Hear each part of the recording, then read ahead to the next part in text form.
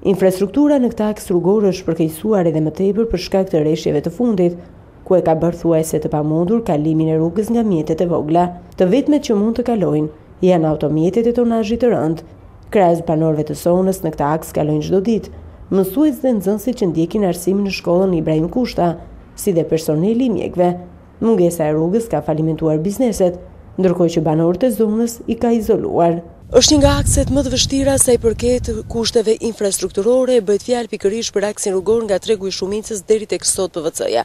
Ka qenë një shqetësim i banorëve të zonës, çka ka bërë që ne të mbërrijmë sërish në terren për të paraqitur situatën. Banorët kërkojnë marrjen e masave të paktën provizore për të bërë të mundur kalimin e aksit. Ne vetë me mjetin tonë nuk kemi arritur të hyjmë më tej, është shumë e vështirë për mjetet, pa menduar më pas për këmbësorët. Ndërkohë që pikërisht në këtë aks rrugor detyrohen të kalojnë të gjithë nxënësit e shkollave për të vajtur te shkolla Ibrahim Kushta, por gjithashtu banorët e zonës si dhe personeli i mjekëve të cilët shkojnë tek qendra shëndetësore. Banorët kërkojnë të paktën, një ndërhyrje provizore në rrugë, deri në realizimin e një investimi përfundimtar, për ta bërë aksin të kalueshëm.